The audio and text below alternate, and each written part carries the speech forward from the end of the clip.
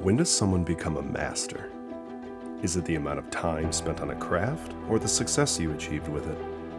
In this Adorama original series, we'll travel throughout the United States and discover people who spent countless hours perfecting their craft and finding their own voice. Because being a master today means being able to recognize that voice and inspire people to find their own.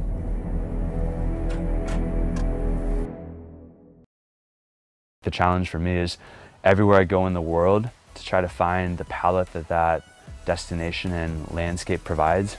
And I try to do what I can to tell that story and emphasize that unique palette.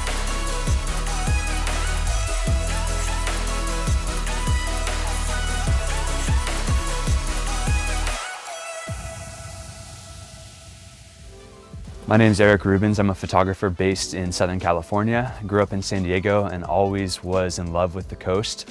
And so when I got into photography, I thought it'd be a great opportunity to bring my hometown to life through the colors that I saw. I first got into photography when I was actually an electrical engineer. So I would work nine to five every day and I would be looking for anything to do to end the day other than sitting at my desk and kind of closing the computer for the day. So I would drive to the beach every day in San Diego and I'd oftentimes get there with five to 10 minutes to go to catch the sunset. And it kind of became my mission to do what I could to capture that moment in a unique way each day and share it with other people. I got on right when Instagram was kind of emerging. So I had a budding passion and an outlet to share it with as well. It just kind of started taking off really organically. I just started sharing pictures every day. Never truthfully thought it would turn into anything. And it went from you know years and years of really no business plan whatsoever to getting my first opportunities and really just running with it from there.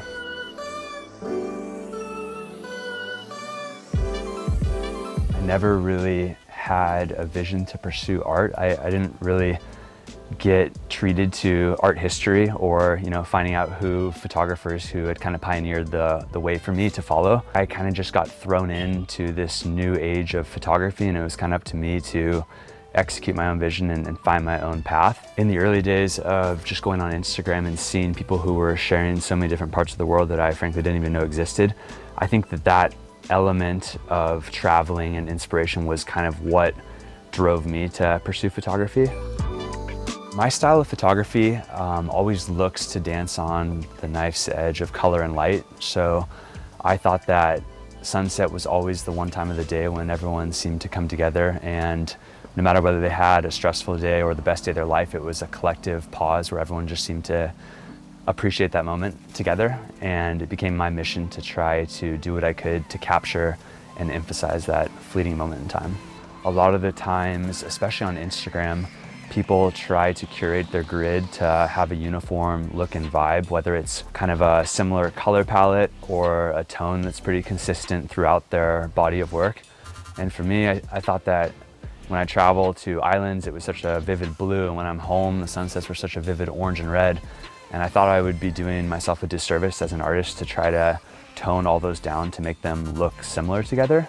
So I instead, I guess, tried to brace kind of the opposite mentality where I would just try to take each piece of art as an individual project and try to showcase that as dramatically as possible and not worry about how it stood next to the piece that was gonna live on the grid directly next to it. I think the challenge that that I always try to do is when I shoot a scene, I try to position it so that anyone can imagine being there. I try to not make the experience too unique to myself. And I think that that's something that oftentimes a lot of people on Instagram, I mean, it probably goes a little bit more towards the influencer lifestyle when they're exposed to travel or working with resorts or doing this stuff. You often want to share your experiences and make it about you.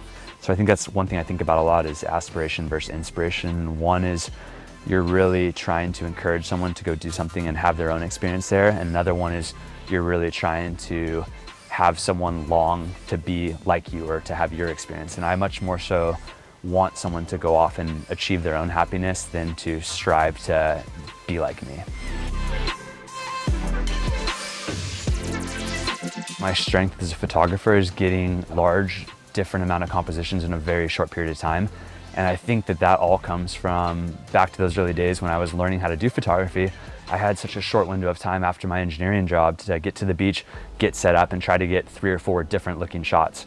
I don't like to have any preconceived notions about what I'm gonna get somewhere. I mean, I'll do a little bit of research in terms of what spots I wanna go to, but I'm not gonna do the research of where the sun sets and what peak I need to climb onto to get the sun flare behind the peak of the mountain. So typically when I research a spot ahead of time, I'll go to Instagram because I think it's the best for kind of visually laying out a grid of the top photos people have captured recently. That'll at least give me a general idea of what I think will stand out and pair well with my style. Google Maps, I utilize that quite a bit to get a lay of the land and try to get an idea of what aerial photography will look like. But outside of that, I don't really utilize too many tools. I do my best when I'm improvising on the spot and that oftentimes just means driving around, seeing how stuff looks. And I think that it's actually better that way in my opinion because a lot of the times when I have tried to plan out that perfect shot, the experience gets ruined by cloud coverage or just some circumstances that are well out of my control.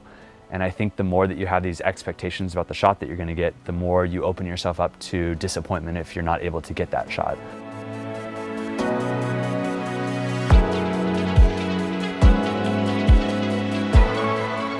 My gear breakdown, I, I, use the Sony a1 for pretty much all my content and I use the a7S III for video jobs. In terms of lenses, I stick to the 16 to 35 pretty heavily because if you notice, a lot of my favorite shots over the years have very dramatic clouds that stretch up pretty high, so utilizing a wide angle lens is pretty critical for what I do. At the same time, I love those compression shots of the sun and trying to get a surfer in the sunset or an island in the distance at the sunset. So I use the Sony 100 to 400 millimeter. Most of the lenses that I use are fast lenses. I mean, I, I need to shoot at 2.8 or lower oftentimes because I'm shooting at sunset or, or pretty poor lighting conditions. So I think that's the one unique time where having nicer gear actually does kind of pay off because I mean, having the Sony A1 that I shoot with is, it's incredible in low light. So I can shoot handheld 30 minutes past sunset. The number one piece of gear that I cannot live without is a polarizer. Um, that really helps emphasize the clouds in my work and cuts down the glare of the water. And I think that the colors that I try to capture when I edit wouldn't be anywhere near the same if I didn't utilize one. I've used Polar Pro the last few years for their polarizers. I think their gear is very durable, holds up very well, and it's good for a person like me who doesn't always treat their stuff the best. Drones, I just got the Mavic 3 Cine. I think that the battery life is incredibly good on that and I've noticed the dynamic range is really good on it. The video is incredibly strong. I've been shooting Apple ProRes video and color grading it and been able to extract a lot of color.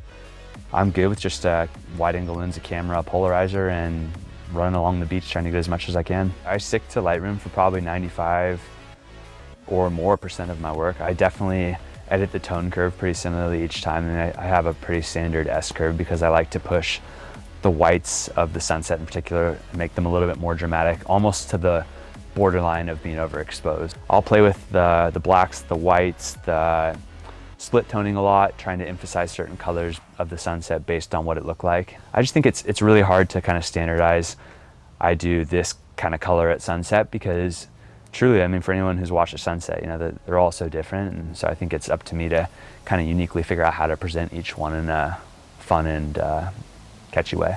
And I've never really tried to over dramatize anything that wasn't in the shot outside of touching up color and light. I don't think there's anything wrong with any other style or any other art that people pursue, but just for me personally, I've always just thought if I can't catch the best sunset of all time in a spot, like I, I don't worry about it. It's, it's kind of just the way it was given to me and um, it's up to me to try to do the best I can with those circumstances and I don't worry about trying to make it the perfect shot of all time.